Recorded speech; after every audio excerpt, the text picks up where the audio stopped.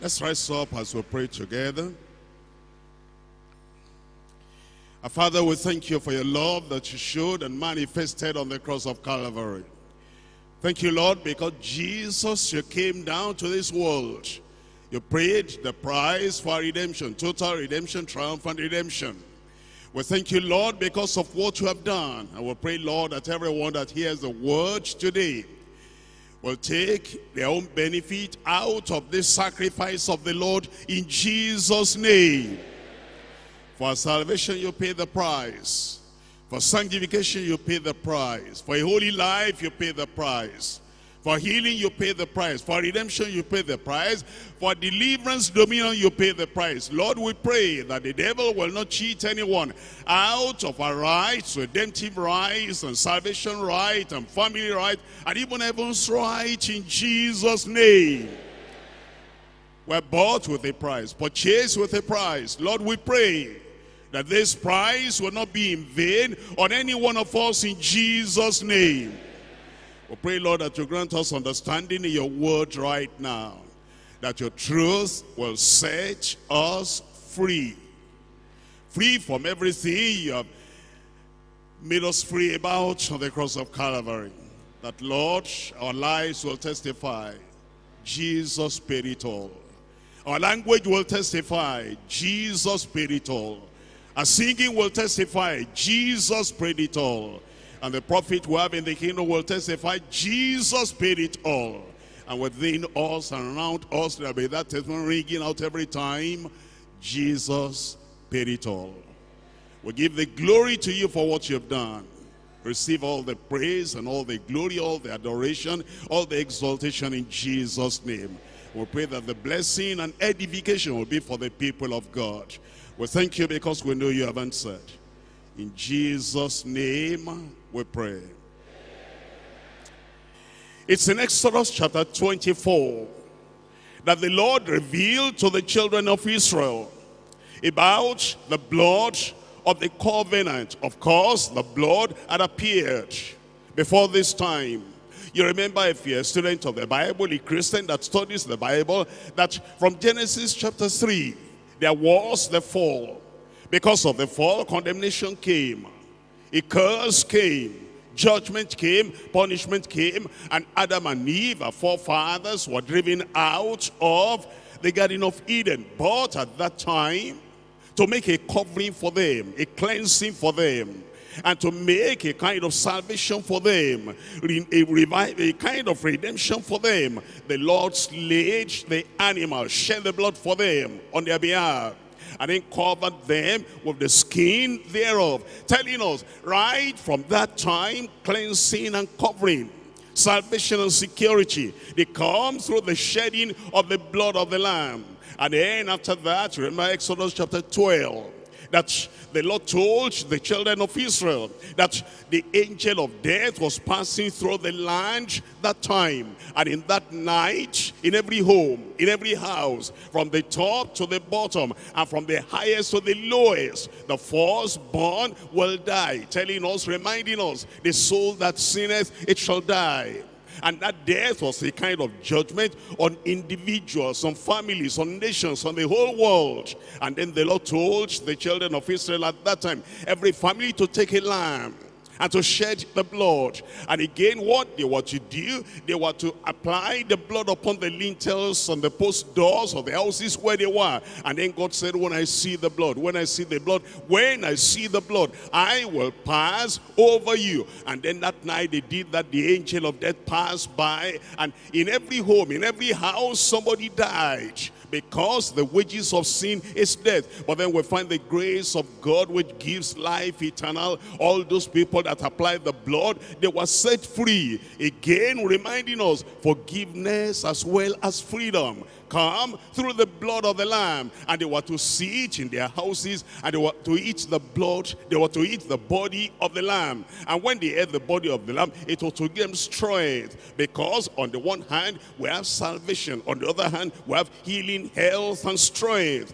And then it comes to this chapter 24 now reminding them what you should never forget that it is the blood of the covenant the blood of the covenant the covenant that sets us free the covenant that saves us, the covenant that heals us, the covenant that sanctifies us, the covenant that secures us, the covenant that gives us victory, the covenant that strengthens us, and the covenant that leads us on the way to heaven. That they were to remember, it is by the blood of the covenant. Open your Bible now with me, Exodus chapter 24. I'm reading verses 7 and 8.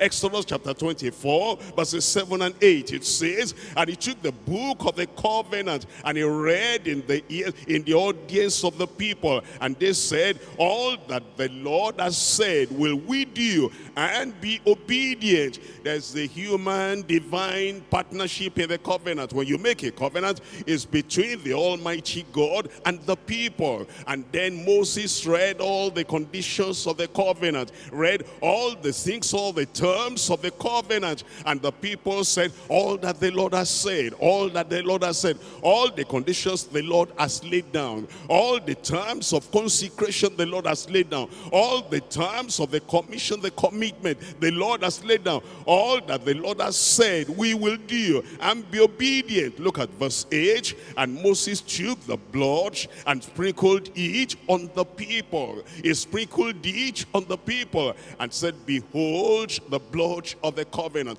Behold the blood of the covenant. Believe the blood of the covenant. Look at the blood of the covenant which the Lord has made with you concerning all these words the blood of the covenant, the blood of the covenant. You read in Zechariah coming to almost the end of the Old Testament now. That's the Old Covenant. We're looking at Zechariah chapter 9. I'm reading there from verse 9. They were passing on now. You need to understand the development of the covenant. As you look at the Old Covenant, for, for example, when you look at Genesis, it was to be just a lamb for one family. And then you come to Exodus, it was to be a lamb for the whole house. As you come to Leviticus, it's going to be the lamp now for the whole nation. As you come to Isaiah, it's not just for one individual, it's not just for one family, it's not just for one nation, it's now for the whole world. And then they were looking forward to not an animal anymore, they were looking forward to a person a person, a person, because it says, unto us a child is born. They were looking up to a person, unto us a son is given. They were looking forward to a person. And then it says, the government shall be upon his shoulder, and his name shall be called Wonderful Counselor, of the Everlasting Father, and is the Prince of Peace. And the government shall be upon his shoulder, and the zeal of the Lord shall do this. They were looking forward to a person, and Zechariah is going to bring it out now. It's not just a person. We're looking for the Lamb lamb crucified. They were looking for the lamb that is that is that died. They were looking for the lamb that will be buried. And they were looking for the person that will take all the sins of the world away. The reason one, Zechariah chapter 9. I'm reading from verse 9. Rejoice greatly, O daughter of Zion. Shout, O daughter of Jerusalem. Behold, thy king cometh unto thee behold thy king cometh unto thee. Now, eh, they were being told now, of course, if you look at the Old Testament, the lamb that they took was a perfect lamb, was a spotless lamb. It was a, a, a kind of preferred lamb. And when it comes now to telling us what that lamb actually typifies, what that lamb actually represents, is saying it's a king, it's a king. Behold, thy king cometh. He is just. He is just. It's now a man. It's not just age. It's not an animal now. All those animal sacrifices only represented the Lord Jesus Christ, the very Son of God, the Son of David, and the Son of Abraham. He tells us he is just, having salvation, lowly, and riding upon an ass, upon a colt, uh, the fowl of an ass. And then he says, and I will cut off the, uh, the, the chariot from Ephraim, and the horse from from Jerusalem, and the battle bow shall be cut off, and he shall speak peace unto the heathen. He's telling us that it's not only the Jews that will benefit from the sacrifice of the lamb, then all the Gentiles and the heathen will also benefit. He says his dominion shall be from sea even to sea, and from the river even to the ends of the earth. You know, there are people that limit the redemption. They limit the sacrifice of Jesus. They limit the salvation of Jesus Jesus unto, unto some, uh, you know, white people, unto some Jewish people, unto a little nation. But it says his dominion, that is his era, and the people he covers, and the people he cleanses, and the people he secures, and the people he saves, they'll be from sea to sea. And then it goes on in verse 11, as for thee also, by the blood of the covenant. You see that? As for thee also, by the blood of the covenant, have I forced, have I sent forth thy prisoners out of the pit wherein is no water. We were all in that prison, we were all bound there, confined there, restricted there. But now he said, I set them free. I get them out of that pit of the prison. And I do that by the blood of the covenant. Well then, Exodus talks about the blood of the covenant. Zechariah talks about the blood of the covenant.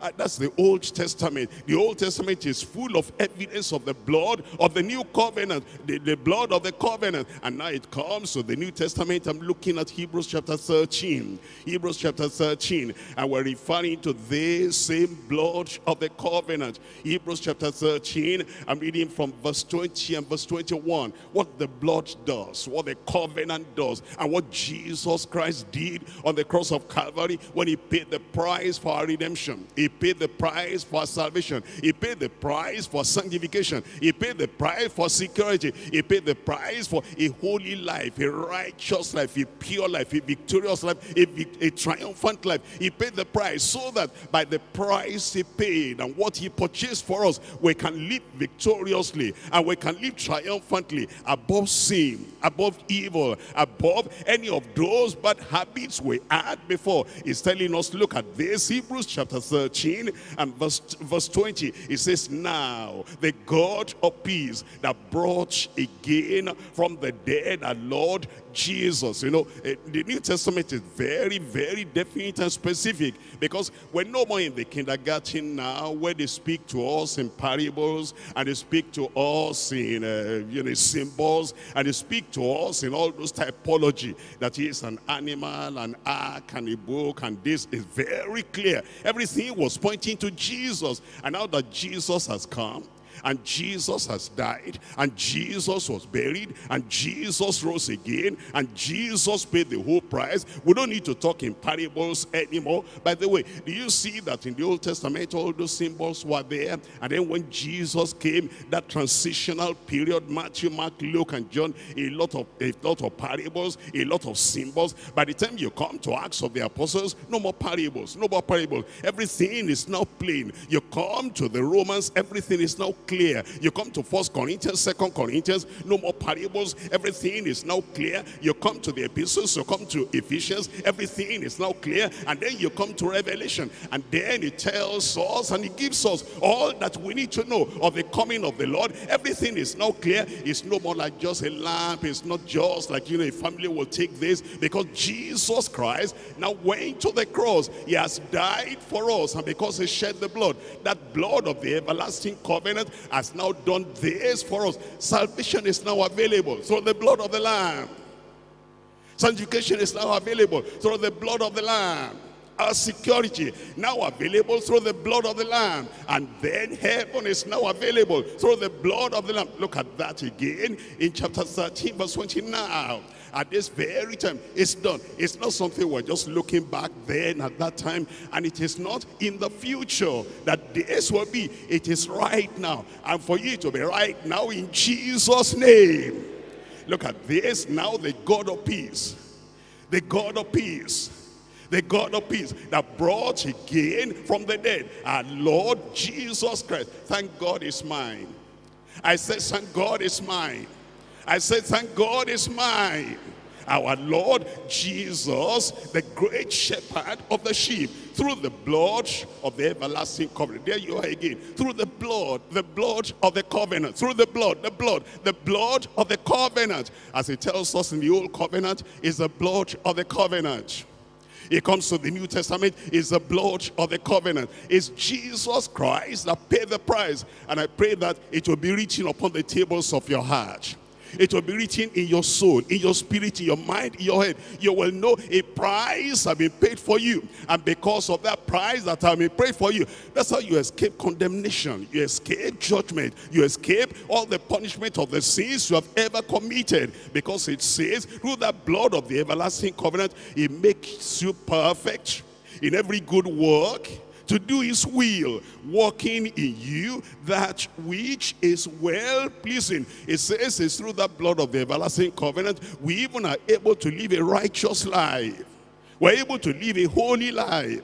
We're able to live a transformed life. We're able to live a, a triumphant life. And then we're able to do that which is pleasing unto God. It says, pleasing in his sight through Jesus Christ, to whom be glory forever and ever. And everybody said, Amen. Through the blood of the everlasting covenant, we conquer the enemy. Through the blood of the everlasting covenant, we conquer sin. Through the blood of the everlasting covenant, we conquer the depravity. That is the original uh, kind of powerlessness, impotence that were brought into this world. You know, temptation comes. We couldn't overcome because in our strength, we couldn't overcome all those signs and all those evidences of depravity. But now Jesus Christ died on the cross of Calvary. And because he died on the cross of Calvary, now we conquer that depravity. And we conquer the power of darkness. We conquer the kingdom of darkness. And we conquer the flesh. We conquer the world. We conquer the devil. We conquer the fall and all the consequences of the fall. That's why we're looking at the word that tells us conquering. We're going to conquer. I said conquering, we're going to conquer. No wonder the Bible tells us, New Testament tells us, it says, in all these things now, we're more than conquerors. We're more than conquerors through Jesus Christ, our Lord, who died for us, who rose again for justification, conquering through the blood covenant. There are three things we're going to look at. Number one, salvation and hope salvation and hope through Christ's blood. Salvation and hope. Hope of everlasting life. Hope of eternal life. The hope that as we believe on the Lord Jesus Christ here on earth, and then the blood cleanses us. The blood redeems us. And the blood sets us free and then we live a life, a life that is free, a life that is whole, a life that pleases the Lord. We have hope of life eternal and life that is everlasting. We have hope of living with the Lord ever and ever and ever. It will be so for us, for you and for me in Jesus' name. Salvation and hope through Christ's blood. Number two, sanctification and holiness sanctification and holiness through the, his cleansing blood. That blood that cleanses, that blood that purifies, that blood that washes us, that blood that transforms our lives, that blood that gives us an inner triumph, an inner victory, an inner conquering power. Sanctification and holiness through his cleansing blood. Number three, security and heaven.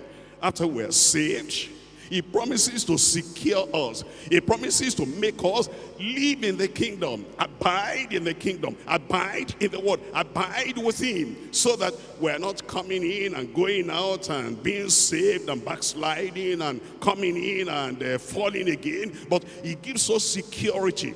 He gives us steadfastness. He gives us stability. And our faith is steadfast and solid in the Lord. And then he takes us to heaven. And it is through the covenant blood. Security and heaven through the covenant blood. He will do it. I said he will do it. He has done it already. I pray that the Lord will give you and give me and give us the faith to abide and remain stable and steadfast in the Lord until the very end in Jesus' name security and heaven through the covenant blood. Number one now, number one is salvation and hope. Salvation and hope. For those of us who are saved, we need to remind ourselves the condition of our salvation. We need to remind ourselves so that we can have faith in that unfailing word, in the faithfulness of the Lord that has brought the salvation unto us. And for those who have just given their lives to the Lord, what a wonderful thing as you remind yourself of the very fact that this is how I got saved, and this is when I got saved, and this is what has given me that salvation salvation and a hope of glory when I leave this world eventually. Salvation and hope through Christ's blood. It's not through your own works, through Christ's blood. It's not through the tradition of men, through Christ's blood. It's not, I give money to the beggar. It's through Christ's blood. Salvation does not come by the works of man's hand. Salvation does not come by the religion that people practice. Salvation comes as a result of the fact that we gave our lives to Jesus who gave himself for us. He shed his blood for us. And because he shed his blood for us, we can say, praise the Lord.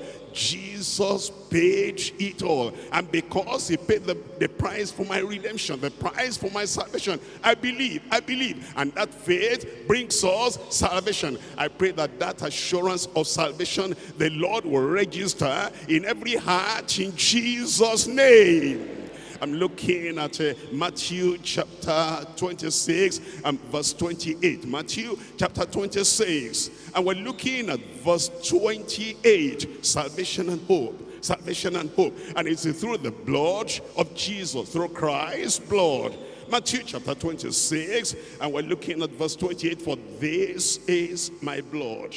This is my blood. The Lord Jesus Christ was about to die about to go to the cross, about to go and pay the price. And because was about to go and pay the price, here is what he said to the people, this is my blood of the new covenant. The word testament there, the same thing, covenant, testament, testament, covenant, the same thing. Is the blood of the new covenant, the blood of the new testament, which is shed for many for the remission of sins. He said, this blood is shed for many. Many in what way? Many in the world at that time. Many in the world in every generation. Many in every nation. Many in many nations. Many all over from that time until he will come again. Many, many in every century. And today as many as will believe on the Lord Jesus Christ, they will discover that the blood has been shed for many the blood has been shed for many. Many that have transgressed the word of the Lord. They have transgressed the work of the Lord. They have transgressed the will of the Lord. Now Jesus died to pay the price for everyone. And he said, this is my blood.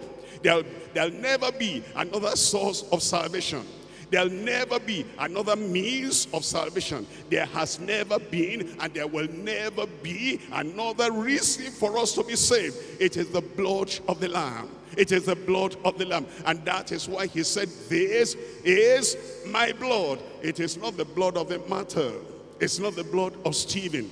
It's not the blood of a religious man. It's the blood of Jesus Christ. It is the blood of our only Savior. It is the blood of the one that died for us on the cross of Calvary. This is my blood of the New Testament which is shed for many for the remission of their sins. And the moment you place your faith and your trust and your confidence in that blood of the Lamb, all the sins will be forgiven in Jesus' name. I said all the sins will be forgiven in Jesus' name. I told you before that the story is coming all the way from Exodus. Exodus chapter 12, look at this now. Exodus chapter 12, and I'm reading from verse 12. Exodus chapter 12, we're reading from verse 12. This is where it was first made very clear, very plain to the people that it is the blood that gives the cleansing. It's the blood that gives the covering. It's the blood that gives us salvation. It's the blood that sets us free from every form of judgment and punishment because of our sins. Exodus chapter 12, reading from verse 12. For I will pass through the land of Egypt this night and will smite all the firstborn in the land of Egypt, both man and beast, and against all the gods of Egypt. I will execute judgment. I am the Lord. He says, I'm the Lord. I bring judgment against sin. I bring judgment against all those gods, all those idols, whether it's of Egypt, of any other nation. And then he says in verse 13, and the blood shall be to you for a token upon the houses where ye are. And when I see the blood, praise the Lord. And when I see the blood, I said, praise the Lord. And when I see the blood, the Egyptians were sinners. But they didn't have any sacrifice, acceptable sacrifice.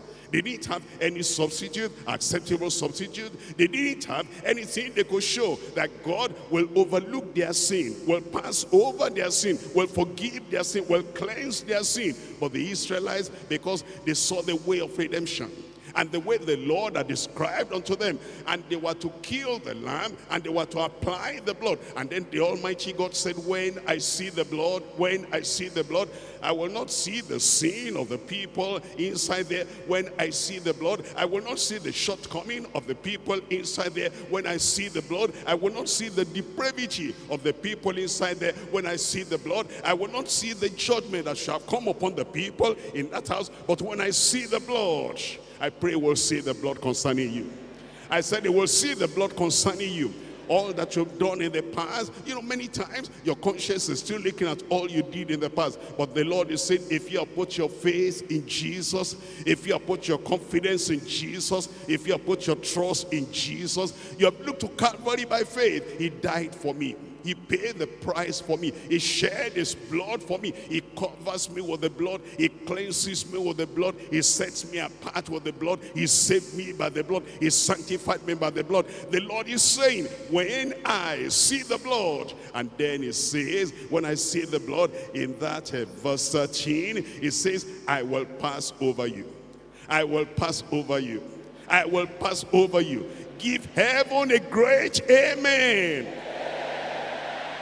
and the plague shall not be upon you, and the punishment shall not be upon you, and the calamity can, shall not be upon you, and the judgment shall not be upon you to destroy you. When I smite the land of Egypt, that's where our salvation comes from from the blood of the Lamb. That's where our redemption comes from, from the blood of the Lamb. That's where our forgiveness comes from, the blood of the Lamb. That is why the remission of sin comes from the blood of the Lamb. When I see the blood, when I see the blood, when I see the blood, I will pass over you. We're looking at Leviticus chapter 17, verse 11. Leviticus chapter 17, we're looking at verse 11. Leviticus, Leviticus chapter 17, verse 11. For the life of the flesh is in the blood. And I have given it to you upon the altar to make an atonement for your souls. I've given you the blood to make an atonement for your soul. I've given you the blood, the blood, the blood of the Lamb as an atonement for your soul. And it says, for it is the blood that maketh an atonement for the soul. It is the blood. I need to remind you again, it's not the work of your hand that makes atonement for your sin. It it is not your religiosity or religion that makes atonement for your sin. It is not your own sacrifice that makes atonement for your sin. It is not what you have done. It is not what you have done that makes atonement for your sin. It is not the money you have given to poor people, needy people that makes atonement for your sin. It is not your regularity in church service that makes atonement for your sin. It is not the name of your church, the name of your denomination that makes atonement for your sin. It is not for your what your daddy did and what your mommy did in religion. He built a church for your village. He built a church for your tribe. It is not that that makes atonement for sin. For it is the blood. It is the blood. And it is not just any blood, the blood of any deacon Harry, the blood of an animal now, or the blood of anybody is the blood of the of the Lord Jesus, the blood of Jesus. It is the blood that maketh an atonement for your soul. And I pray that that will sink deep into your soul, into your mind, into your heart, in Jesus' name. We're looking at Romans chapter 3. Romans chapter 3. I'm reading verse 25 and then I'll back up. I'll back up to verse 9. Romans chapter, chapter 3 and we're starting with verse 25. Romans chapter 3 verse 25. Whom God has set forth to be a propitiation through faith in his blood whom God has set up. He is the one that clears our record. He is the one that justifies us. He is the one that gives us redemption. And it is through this, through faith in his blood, to declare his righteousness for the remission of sins that are past through the forbearance of God when he says the sins that are past. That means all the sins you have committed from the time you were born From the time you knew the two and two make four. From the time you knew your left from right. From the time you came to what we call the age of accountability. You could account for what you did. When you tell the lie, you knew it was a lie. When you fought, you know it was wrong. When you deceived, you knew it was wrong. From that time until you meet the Lord Jesus Christ, all that time we call all that you did from the age of accountability. It says over here, all those sins that are past, the blood of Jesus takes their care of them all. What are those sins? Let's look at chapter 3 from verse 9. From verse 9, what's there? Are we better than they? No, in no wise. For we have before proved both Jews and Gentiles that they are all under sin. Jews and Gentiles, Jesus died for everyone. Jesus paid the price for everyone. And Jesus shed his blood so that all the sins of the Jews and the Gentiles can be forgiven. Verse 10, as it is written, there is none righteous, no, not one. There is none that understandeth. There is none that seeketh after God. There is, they are all gone out of the way. They are all together become unprofitable. There is none that that doeth good, no, not one. Is telling us that you'll never be good enough for salvation.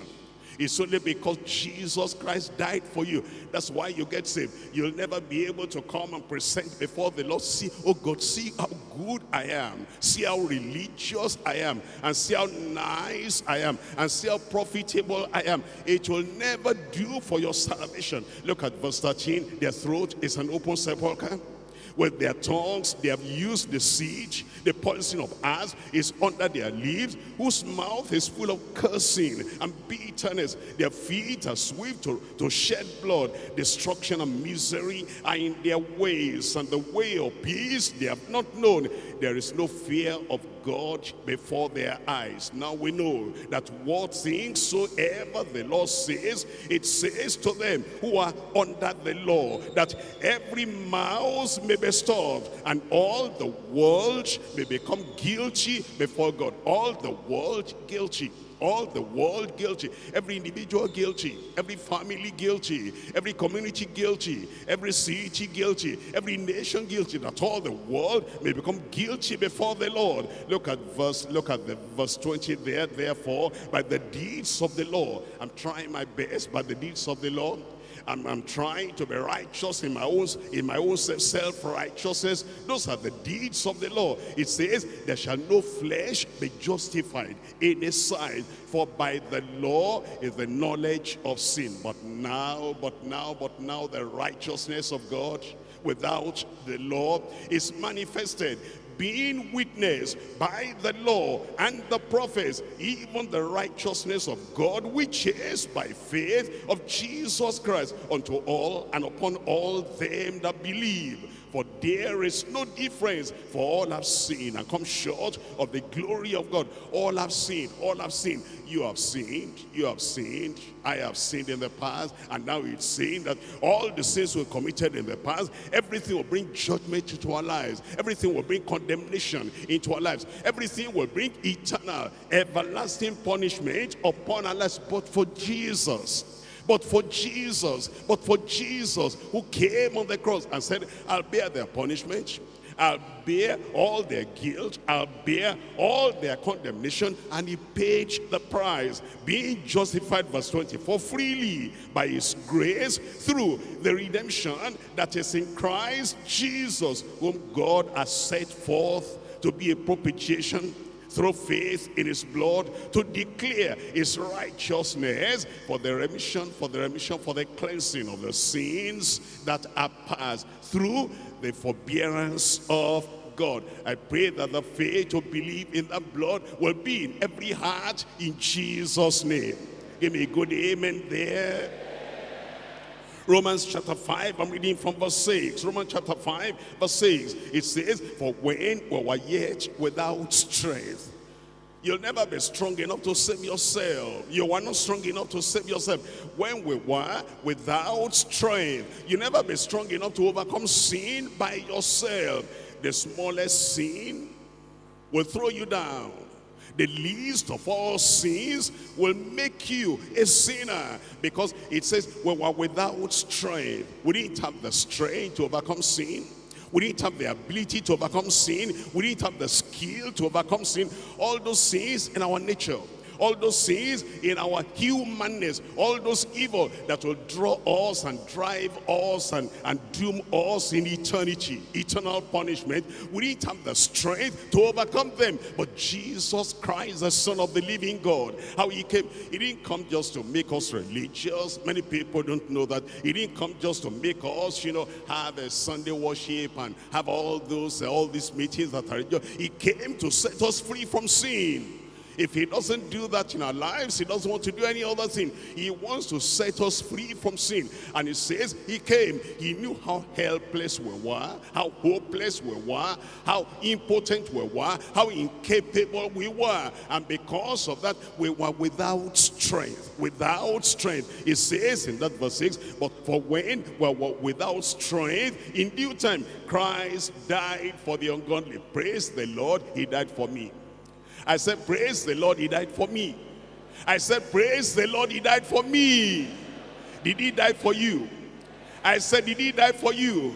He died for you to take away your sin. And when you put your faith in the Lord Jesus Christ, not yourself. Some people, I trust myself. Uh-uh. That will never do. Some people say, I know myself. Uh-uh. That will never do. Some people say, I have confidence. If I want to overcome something, if I determine, your determination cannot give you salvation and victory. It is what Jesus did on the cross of Calvary. In due time, Christ died for the ungodly, for scarcely for a righteous man in verse 7 will one die yet peradventure for a good man some would even dare to die. But God but God but God commended his love toward us in that while we were yet sinners Christ died for us. While we were yet sinners Christ died for us. You know you ask somebody are you saved? He says not yet. And we say what are you waiting for? I want to turn over a new leaf I want to become better. I want to cleanse myself. When I know that I've turned over a new leaf and I become better, I will go to uh, say, Lord, I'm good enough for salvation. No, you'll never be good enough for salvation when it says, while we're yet sinners, yet sinners, yet sinners, Christ died for us. Much more than being now justified by his blood, we shall be saved from wrath through him. Eternal wrath saved we're saved from that. Everlasting punishment, we're saved from that. And I pray that these will burn into your heart in Jesus' name. For if when we were enemies, if when we were enemies were reconciled to God by the death of his son, much more being reconciled, we shall be saved by his life. Then verse 11, verse 11, and not only so, but we also joy and rejoice in God through our Lord Jesus Christ, by whom we have received the atonement, by whom we have received the atonement. That's what he did for us, and I pray that you'll be a beneficiary of that thing he did on the cross of Calvary in Jesus' name. We're looking at Ephesians chapter 2.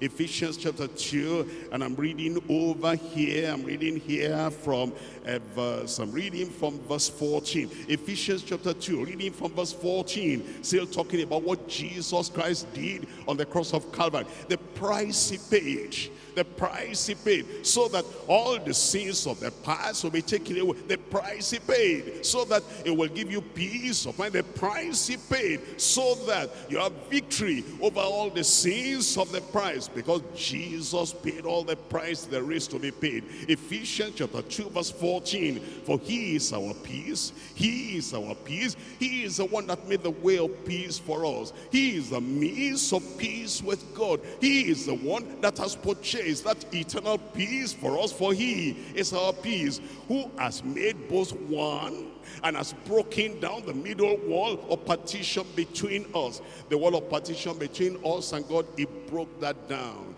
The wall of partition between us and righteousness, he broke that down. The wall of partition between us and acceptance with the Lord, he broke that down. The wall of partition between the Gentile and the Jews, he broke that down. The wall of partition between clergy and laity, he broke that down. He broke down every wall of partition. And then he says, having abolished in his flesh the enmity even the law of commandments contained in ordinances for to make in himself of twain one new man to make, making peace. So making peace. It says that and that he might reconcile both unto god in one body by the cross having slain the enmity thereby. And he came and he preached peace to you which were afar off, and to them that were nigh. For through him we both have access by one Spirit unto the Father. Through him through the Lord Jesus Christ, the one that paid the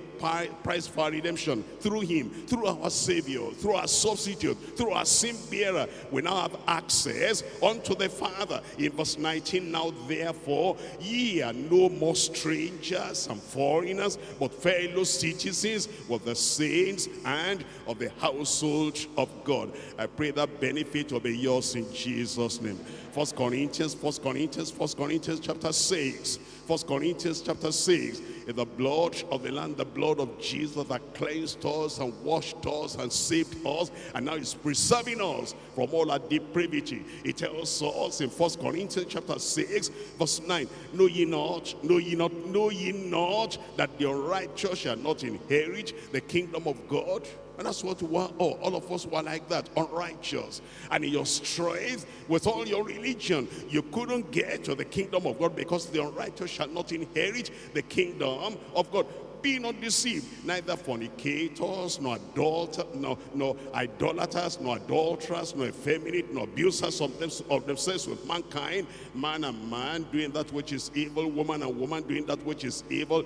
It says effeminate. It says abusers of themselves with mankind. No thieves, no covetous, no drunkards, no revilers, no extortioners shall inherit the kingdom of God. Then he said, and such was some of you and such was some of you. But ye are washed. Praise the Lord.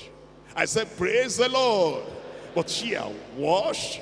And then he says, and ye are but ye are justified in the name of the Lord Jesus, and ye are sanctified, and by the Spirit of our God. That's what he has done. That's what he has done. I'm looking at Hebrews chapter 9. Hebrews chapter 9, I'm reading from verse 12 to verse 14. Hebrews chapter 9, we're reading from verse 12. Hebrews chapter 9, reading from verse 12.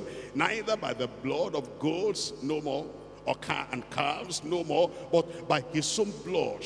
By his own blood, he entered in once into the holy place, having obtained eternal redemption for us. By his own blood, he entered into that holy place, that is into heaven itself and then he says, he has now obtained eternal redemption for us. Verse 13, for if the blood of bulls and of goats and, of, and the ashes of an heifer sprinkling, uh, sprinkling the unclean, sanctified to the purifying of the flesh, how much more shall the blood of Christ, how much more shall the blood of Christ, how much more shall the blood of Christ, through who through the eternal spirit offered himself without spot to God purge your conscience from dead works to serve the living and the true God. Verse 22, verse 22, and almost all things are by the law purged with blood, and without shedding of blood is no remission. Without shedding of blood is no remission. Without the shedding of blood of Jesus, no salvation. Without the shedding of the blood of Jesus, no redemption. Without the shedding of the blood of Jesus, there's no forgiveness. Without the shedding of the blood of Jesus, there is no eternal life. For without shedding of blood is no remission. I pray that God will help us and we believe in that blood that was shed for us in Jesus' name. I told you is salvation and hope, salvation and hope through Christ's blood. We're looking at First Peter chapter 1 verse 3. First Peter chapter 1, we're looking at verse 3. Blessed be God and Father of our Lord Jesus Christ, which according to his abundant mercy has begotten us again unto a lively hope by that blood has begotten us again unto a lively hope. By the shedding of the blood of Jesus, he has begotten us unto a lively hope by the resurrection of Jesus from the dead to an, to an inheritance incorruptible and undefiled, and that fadeth not away, reserved in heaven for you, who are kept by the power of God, who are kept by the power of God through faith unto salvation, ready to be revealed in the last time. In the last time, it will be revealed for every one of us in Jesus' name. Verse 18, for as much as she know that she were not redeemed with corruptible things as silver and gold from your vain conversation and received by tradition from your fathers bought with the precious blood of Christ, redeemed with the precious blood of Christ, saved by the precious blood of Christ, as of a lamb without blemish and without spot. Look at Titus chapter 2, Titus chapter 2, reading from verse 11. Titus chapter 2, we're reading from verse 11. Titus chapter 2, verse 11 is talking to us, is speaking to us about our salvation, about our redemption, about the hope we have in the Lord. Titus chapter 2, verse 11, for the grace of God that bringeth salvation has appeared to all men. It's yours. I said it is yours the grace of God, the favor of God, the mercy of God, the love of God that bringeth salvation appeared unto all men, teaching us that denying ungodliness and worldly laws, we should live soberly, not frivolously, we should live soberly not superficially. We should live soberly, not carelessly. We should live soberly, not worldly. It says we live soberly, righteously, and godly in this present we're looking for that blessed hope, that's it, and the glorious appearing of the great God and Savior Jesus Christ, who gave himself for us, that we might, that he might redeem us from all iniquity. How many iniquities? How many iniquities? That he might redeem us from all iniquity and purify unto himself a peculiar people. Tell me the next word there. Zealous of good works. I pray the Lord will accomplish it in our lives in Jesus' name. It tells us in First John chapter 3 verse 1, First John chapter 3 verse 1, Be, Behold, what manner of love the Father has bestowed upon us, that we should be called the sons of God. Therefore the world knoweth us not, because it knew him not. Beloved, now are we the sons of God, and it does not yet appear what we shall be. But we know that when he shall appear, we shall be like him. We shall be like him the hope of a child of God. The hope we're looking for to that Christ is coming. And when he comes, all those who are saved, when he comes, all those whose sins have been forgiven. When he comes, all those who have enjoyed that faith and empty price that Jesus Christ paid. He says, we shall be like him, for we shall see him as he is. Look at verse 3. And every man, and every man, and every man that has this hope in him purifieth himself. Purifieth himself. Not purified in the past, and that's all that's all. But now, every day you avoid sin. Every day you overcome sin. Every day you are triumphant. Every day you are victorious. Every day you are living the transformed life. Everyone that has this hope in him purifies himself, even as, tell me, even as, tell me out loud, even as he is pure. I pray that God will confirm that in every one of our lives in Jesus' name. Point number two, point number two, tell me point number two. Tell me clearly so I can hear you. Salvation and holiness through his cleansing blood, his cleansing blood. We're looking at Hebrews chapter 10. Hebrews chapter 10, I read from verse 10. Hebrews chapter 10, we read from verse 10, it says, By the which will we are sanctified through the offering of the body of Jesus Christ once for all. It says, by the will of God, and it's by the offering of the Lord Jesus Christ we are sanctified.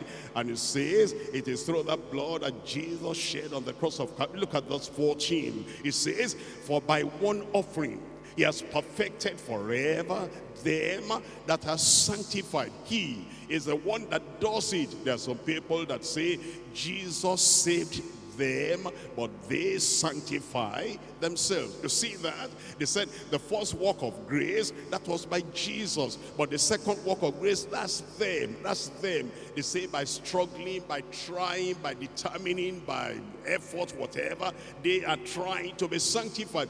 He says, no, it's by the will of God. And it's by the offering of the blood and the body of Jesus Christ that we are sanctified. And when he does it, he will do it perfectly for you in Jesus' name. Look at verse 29 of how much sorrow punishment suppose ye shall he be thought worthy who has trodden underfoot the Son of God and has counted the blood of the covenant wherewith he was sanctified. He was sanctified by the blood of the covenant. And if anybody goes back now to trample on that blood and to tread on that Christ, the sanctifier, he says what a punishment he's going to have because he counts the blood of the covenant wherewith he was sanctified an unholy thing and he has done despite to the spirit of grace. Chapter 2 of Hebrews.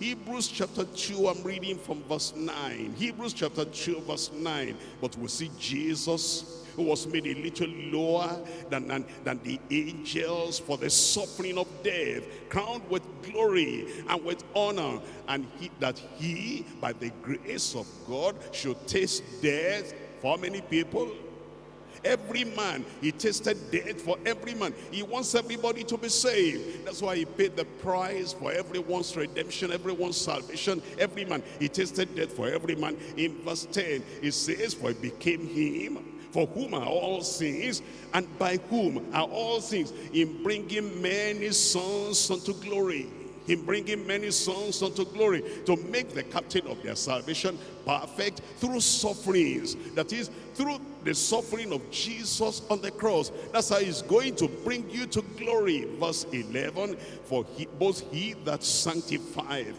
and they who are sanctified. Is he who sanctifies? Is he who sanctifies Jesus, only Jesus ever is our Savior, is our sanctifier, is our healer, is the baptizer, and he is the coming King. It's not, you know, I'm trying to sanctify myself, I'm trying to cleanse myself, I'm trying by struggling. No, both he that sanctifieth and they who are sanctified are all of one. And then it says, for which cause is not ashamed to call them brethren.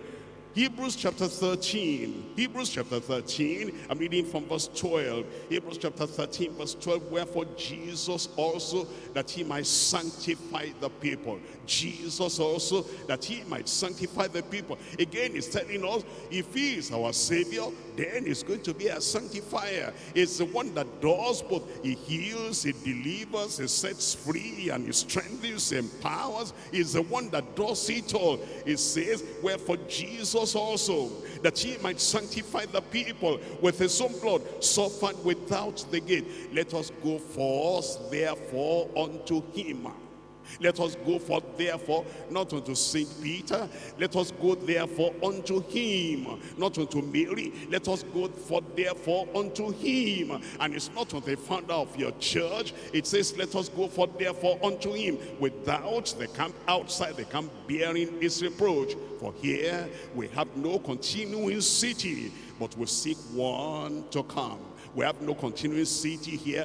The city we live in here, the Lord is saying, is not everlasting. It is not eternal. We seek another one to come, which will be eternal. Verse 20, now the God of peace that brought again from the dead our Lord Jesus, was that great shepherd of the sheep through the blood of the everlasting covenant make you perfect the sanctification make you perfect in every good work to do his will walking in you that which is well pleasing in his sight through jesus christ to whom be glory forever and ever and the people of god said amen Amen. That's what it does. It's the blood of Jesus that sanctifies and cleanses us from all sin. First John chapter 1. First John chapter 1 verse 5. This then is the message that which we have heard of him and declare unto you that God is light and in him is no darkness at all. If we say we have fellowship with him and walk in darkness, we lie and do not the truth. If we say, I am saved, and we're still in a dark kind of covenant with secret society, he said, we lie and do not the truth. If we if we say we, we, we are in the light. If we say we walk in the light and then we use the cover of the night to do all those nocturnal things, all those night things, all those night evils that they do in their pop house that they do, in all those uh, things they do in that dim light and the foolishness of sin that they practice there. It says we lie and do not the truth. It says when we come to Christ, we walk in the light, we live in the light, we behave in the light. Our lives are clean, our lives are clear, and everything we do is brought into the open, and we live transparent lives, we live transformed lives, and we live holy lives.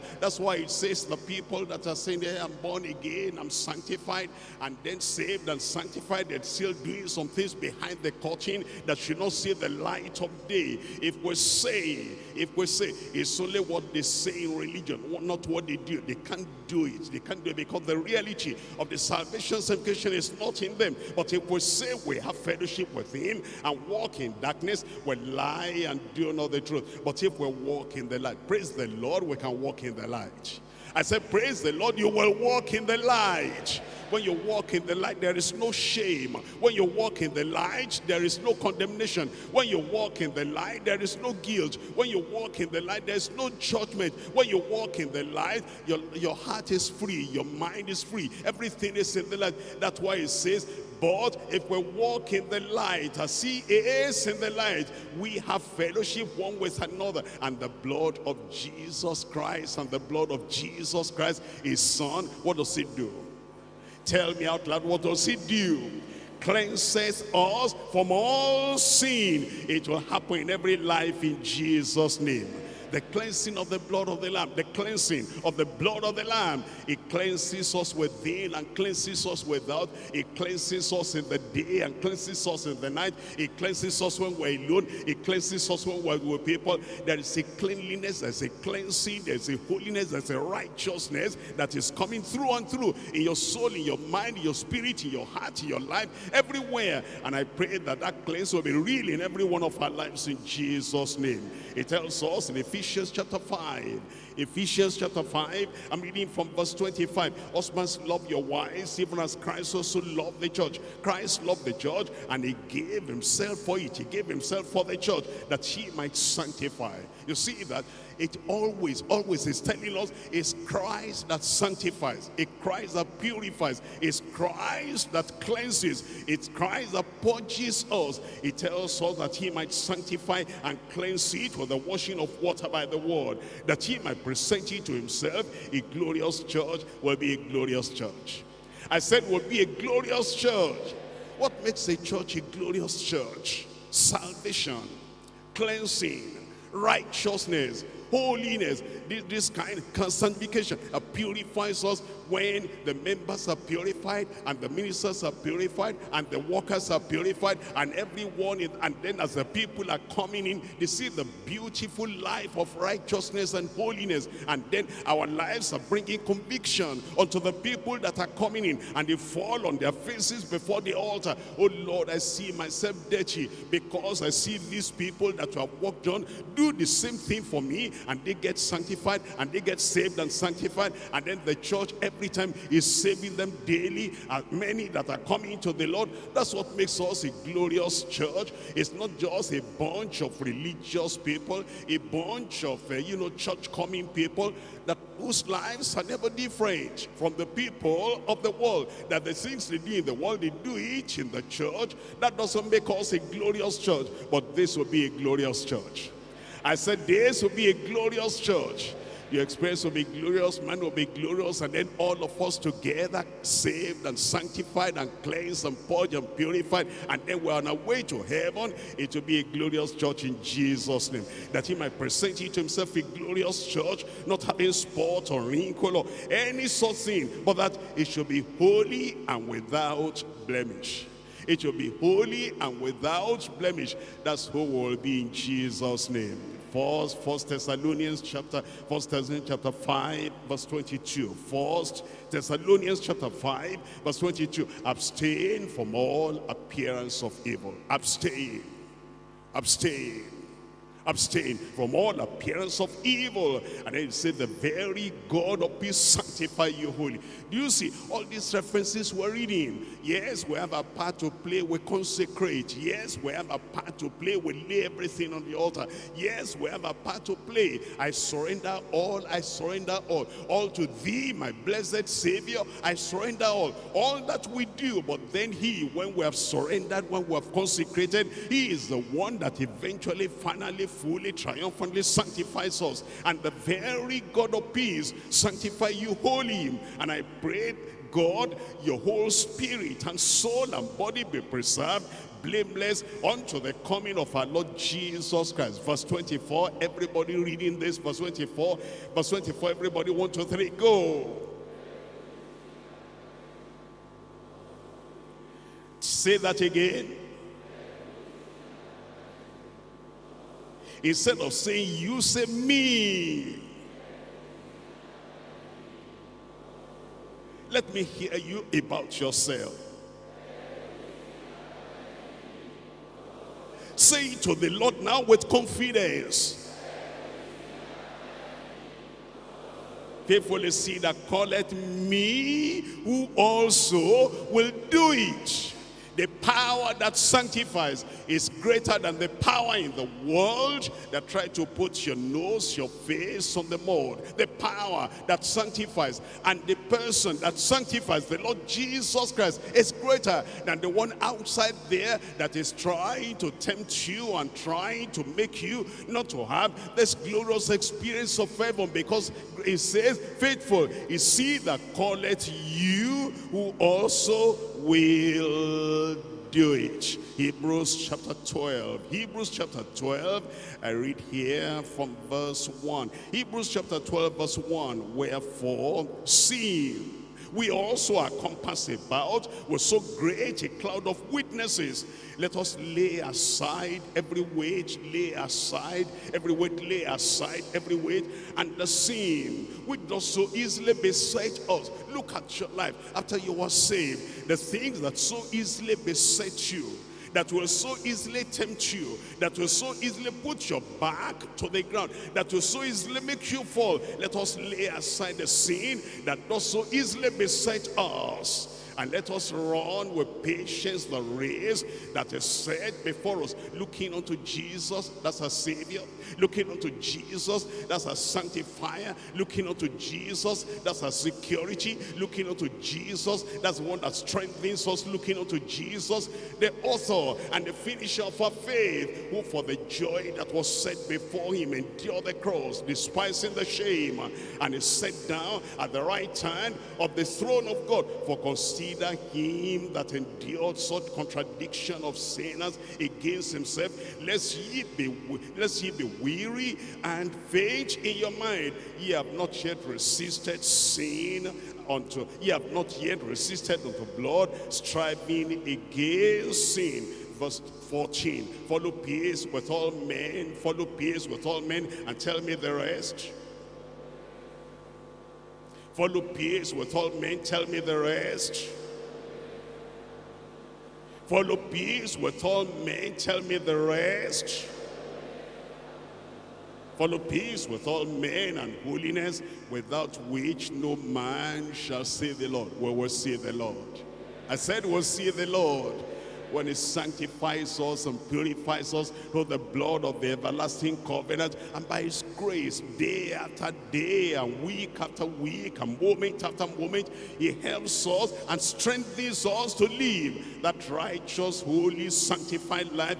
We will see him on that final day in jesus name Point number three, security and heaven through the covenant blood. Security and heaven through the covenant blood. Already we have read in Exodus chapter 12. We're going to read that again. Exodus chapter 12. Exodus chapter 12.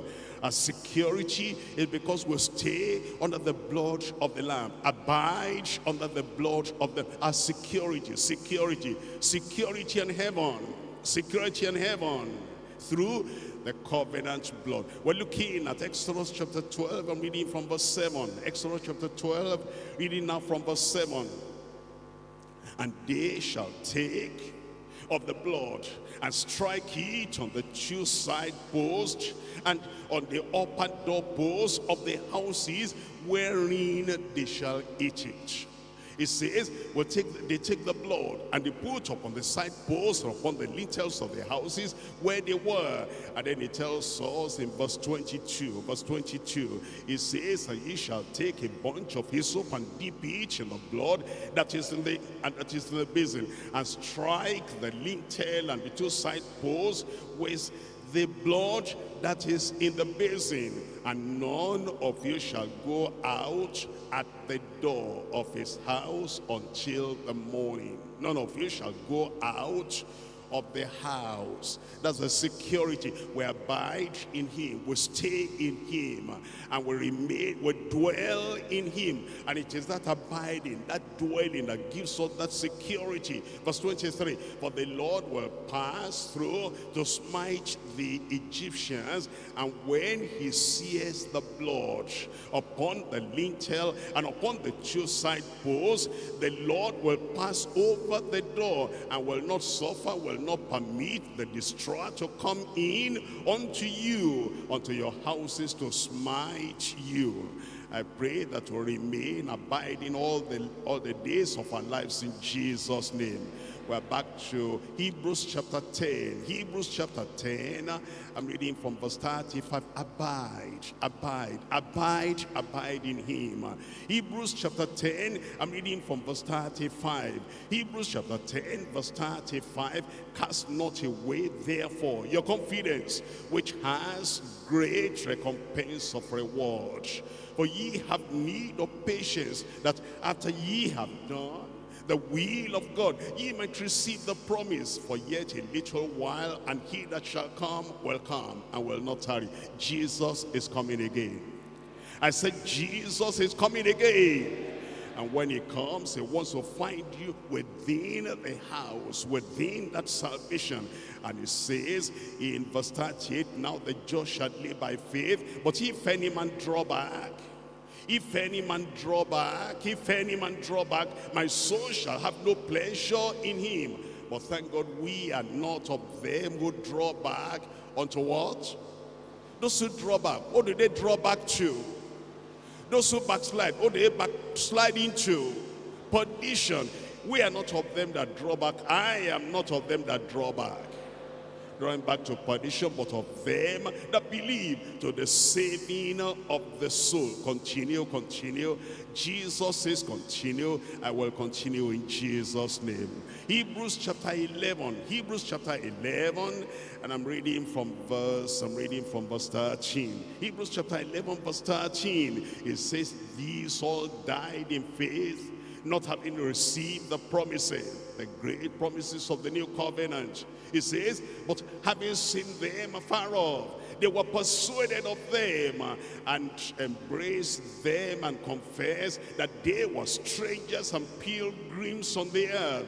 For they that say such things declare plainly that they seek a country and truly, if they had been mindful of that country from whence they came out, if they had been mindful of that country from which they came out, if they had been mindful of that country from which they came out, they might have had opportunity to have returned.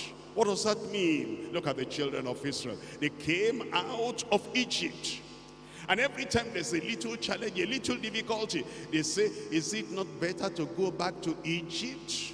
Every time they didn't have enough food to eat, is it not better to go back to Egypt? We remember the onions and the cucumbers we used to, drink, to, to eat. Every time they had a little challenge, a little kind of brush with uh, Moses, their leader. Is it not better to choose a captain and go back to Egypt? Look at that verse 15 again. For truly, if they had been mindful of that country from whence they came out, they might have had opportunity to have returned. But now, but now these people, steadfast people, committed people, consecrated people, these people, the people that set their mind and their face towards heaven, it says, but now they declare they desire a better country that is an heavenly, wherefore God is not ashamed to call them, to be called their God, for he has prepared for them a city. I will be there.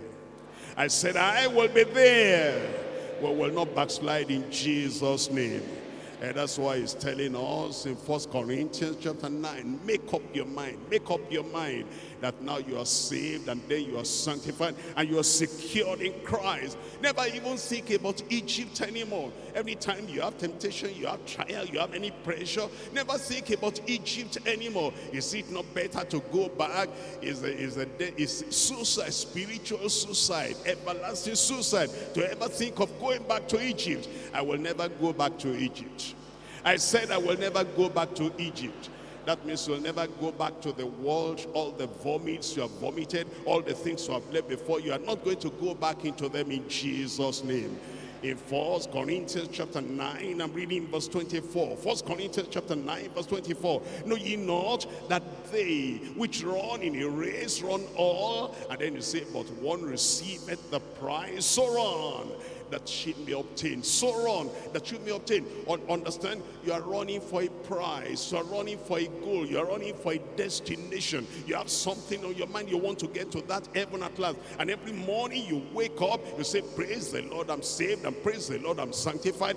And I need to remain secured in the Lord. And therefore, every day you are running that race. And then you are facing that heaven. So run that she may obtain. And every man that striveth for the mastery is temperate in all things. You are controlled in everything. What you eat and what you drink and what you wear and where you go and the friendship you, you maintain. Everything you, you are thinking about in terms of heaven. Every work you do, every conversation you have, every relationship you maintain. You're looking at that in as it relates to getting to heaven. That is why that he says you, you are temperate in all things. Now, they do it to obtain a corruptible crown, but we are incorruptible. I therefore so run, not as beating the air, so fight I, not as one that beateth the air. And I'm not running on certainly, but I keep my body under. You keep your mouth under. You keep your eyes under. You keep your emotion under. You keep your feeling under. You keep your desires under. It says, I keep my body under. And then it says, I bring it to subjection, lest that by any means, after when I preached to others, I myself should be a castaway. You'll not be a castaway in Jesus' name.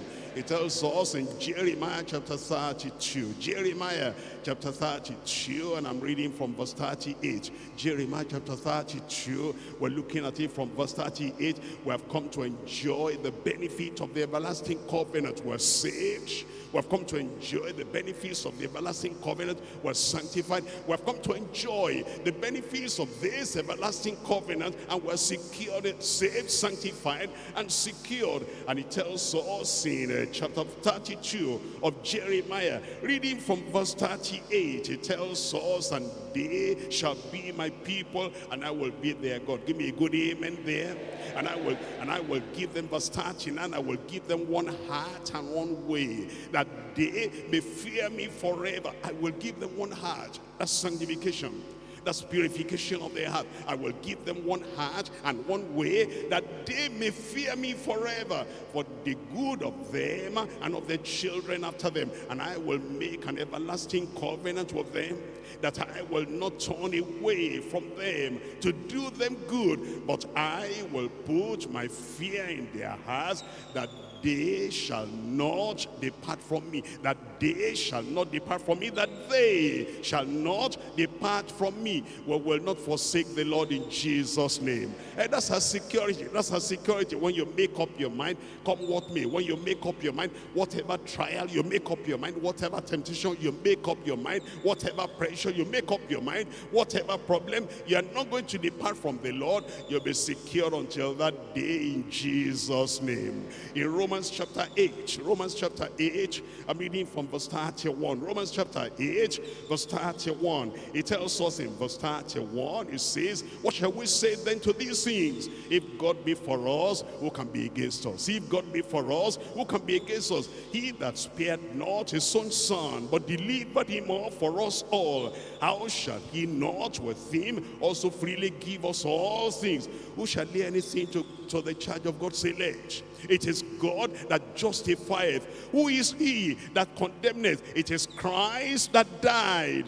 Yea, rather, that is risen again. Then he says, so is even at the right hand of God, who also maketh intercession for us. Who shall separate us from the love of Christ? Who shall separate us from the love of Christ? Who shall separate us from the love of Christ? The apostle is asking us a question, and I direct the question to you. Think about it in your life. Think about it. All the people in your life who is strong enough that you love more than Jesus, who is strong enough that to take your love and to take your devotion, to take your commitment away from the Lord. And you say, Mr. So-and-so, Madam so-and-so, brother so-and-so, sister so-and-so, mom mommy so and so, daddy so and so. Who is it? Who shall separate us from the love of Christ? There are some people, they're not looking at Christ, Christ, and Christ alone. They're not looking at Jesus only, our message, Jesus only, our Savior, Jesus, our sanctifier,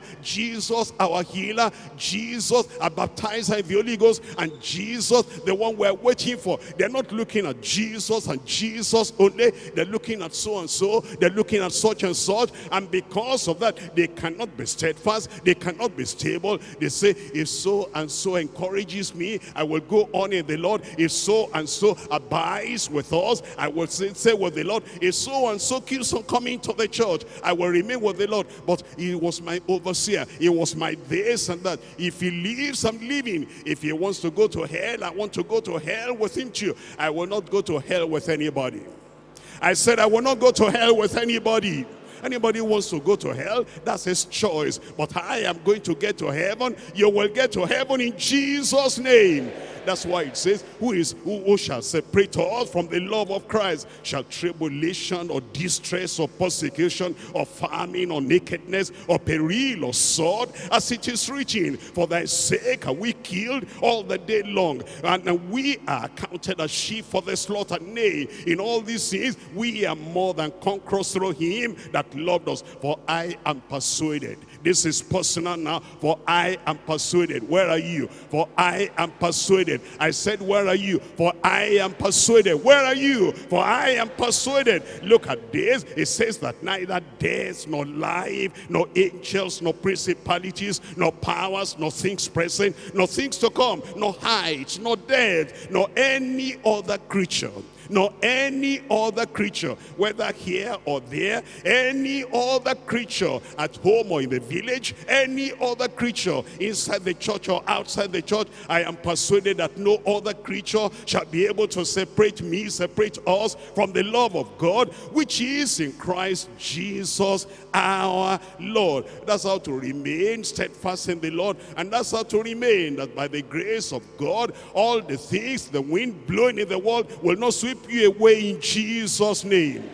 You'll overcome and that heaven will be yours at last in Jesus' name. Revelation chapter 2, I'm reading from verse 7. Revelation chapter 2, we're looking at verse 7. It says, He that has an ear, let him hear what the Spirit says unto the churches. And it says, To him that overcometh, I will overcome I said, I will overcome. To him that overcometh will I give to each of the tree of life, which is in the midst of the paradise of God. To him that overcometh I will give to each of that tree, which is in the midst of the paradise. It tells us in chapter 3, verse 21, chapter 3, verse 21, to him that overcometh I will grant to sit with me in my throne, even as I also overcame and am set down with my Father on the throne. He said, if you overcame like he, over, like he overcame, if you overcome like he overcame, that you're going to sit down with him on the throne. How do you overcome? How do you overcome? It's by the blood of the Lamb. Remember that the everlasting covenant and the everlasting blood of the everlasting covenant. We're looking at Revelation chapter 12, verse 11. Revelation chapter 12, verse 11. Revelation chapter 12, verse 11. And they overcame him by the blood of the Lamb. And they overcame by the blood of the Lamb. And they overcame by the blood of the Lamb. Jesus had died. Jesus had paid the price. And Jesus shed his blood for you. And he says, if you keep on looking unto Jesus, you are saved. You keep on looking unto Jesus, you are sanctified. You keep on looking unto Jesus, you are secured. Then on that final day, when the dead in Christ shall rise, and we which are alive will be raised together, caught up together with them. That day when the saints go marching in, you'll be there in Jesus' name. And then remember, you follow peace with all men and holiness, without which no man shall see the Lord. But I will see the Lord. I said, I will see the Lord.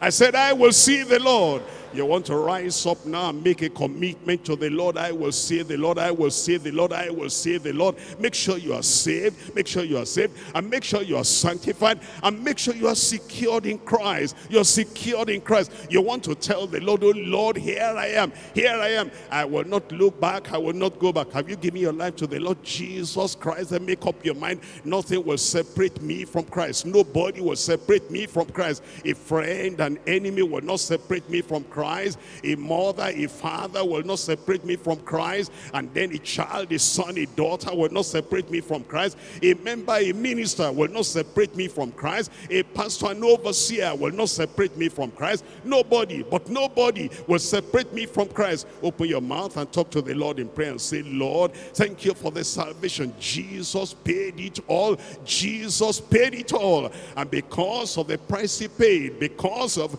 the death he died, that's why we're saved. That's how we're saved. You want to talk to the Lord in prayer. You want to say, oh Lord, here am I, here am I, here am I.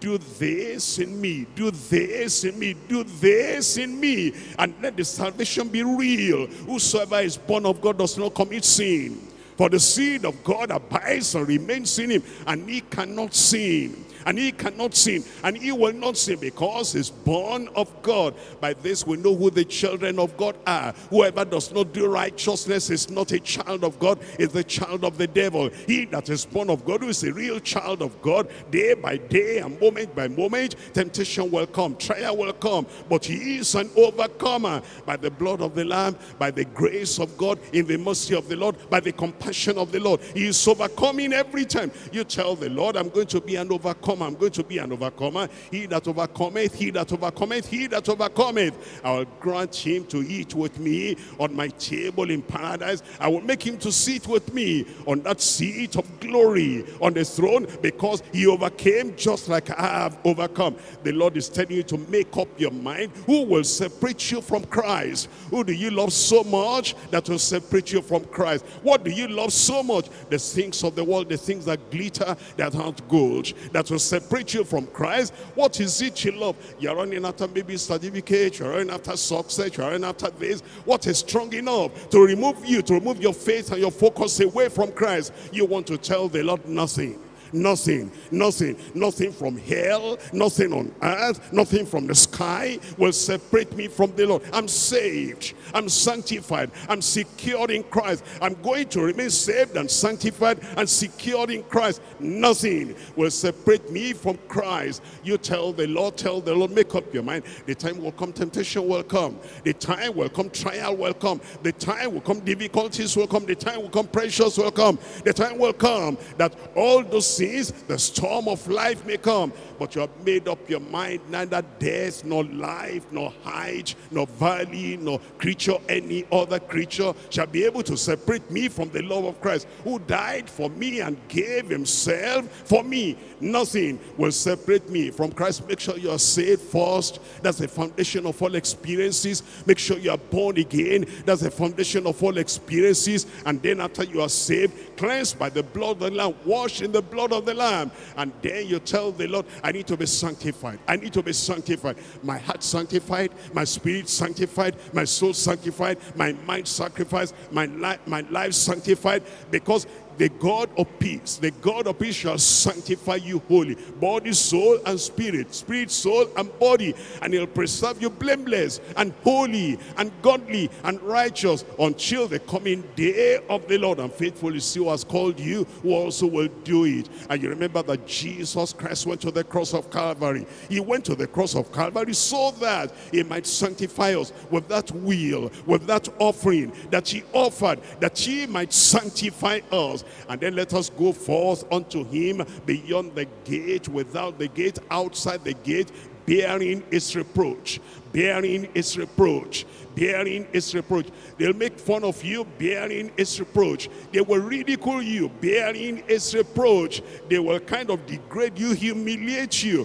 bearing his reproach and holding on to this experience the Lord has given unto you that you are not going to allow the injury of the world or the blame of the world or whatever it is the world is throwing at you. You're not going to allow that to make you to go back because we're not of them that turn back and go back unto perdition. We're them that forge ahead and move ahead unto that eternal salvation, eternal crown of glory that he has preserved for us. You tell the Lord, I will not go back. I will not turn back. I will not turn back. I will not die in the middle of the way. I'm going to go on until the very end. Make up your mind and lay everything on the altar. Come to consecrate and come to surrender everything and come to yield everything unto the Lord and say, Lord, here am I, here am I, here am I, O Lord, saved and sanctified and secured in the Lord. Tell the Lord, tell the Lord, He is able, He is able, He is able, able to keep them to the uttermost, the people that come unto God by Him. You tell the Lord, you tell the Lord, you tell the Lord, I am going to remain to the very end. I'm going to remain, I'm going to remain, I'm going to remain until the very end. You need the grace of God in all the grace you can get in the time of prayer.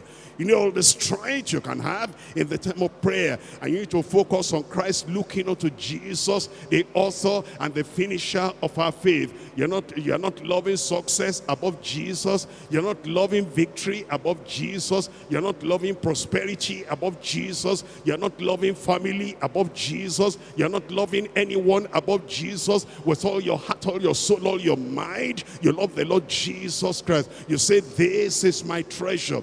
This is my Savior. This is my Lord. And this is the one who died for me. He loved me. He gave himself for me. And I give myself for him. I give myself unto him. And I'm going, not going to allow, I'm not going to allow anything to divert me away from this way of the cross that leads home. The way of the cross that leads home. The way of the cross that leads home. It is good as I onward go to know that the way of the cross leads home. Let that cross do something in your heart today. That's why Jesus died. That's why he shed his blood for you. That is where he gave everything for you. And he's saying that you take up your cross now, you follow after me. Is the way of the cross that leads home. Is the way of the cross that leads home. That means you forsake the way of the world and you walk in it nevermore. You walk in it nevermore. For my Lord says, come. And I hear his sound. And then I say, I'm going to follow. I'm going to follow that way of the cross. And nothing, nothing, nothing, nothing, nothing on earth and nothing under the earth and nothing in the sky will be able to separate me from that love of Christ. Saved, sanctified and secured. Saved sanctified and secured. Saved sanctified and secured. Saved and sanctified and secured. You'll walk on and move on until the very end with the lord jesus christ